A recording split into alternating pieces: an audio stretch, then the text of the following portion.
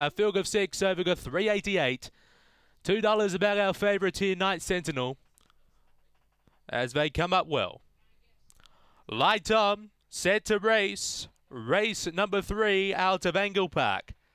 Set.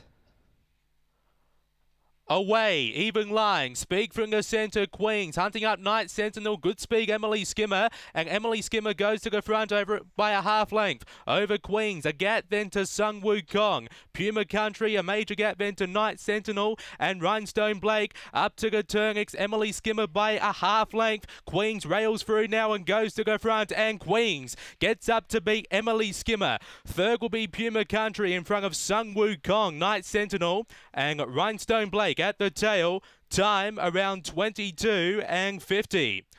After race number three, number four gets it. Queens for Kim Johnston. Second will be number eight, Emily Skimmer for Graham Sterling.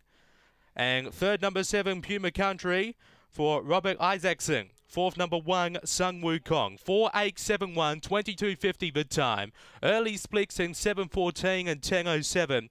Run home in 1243.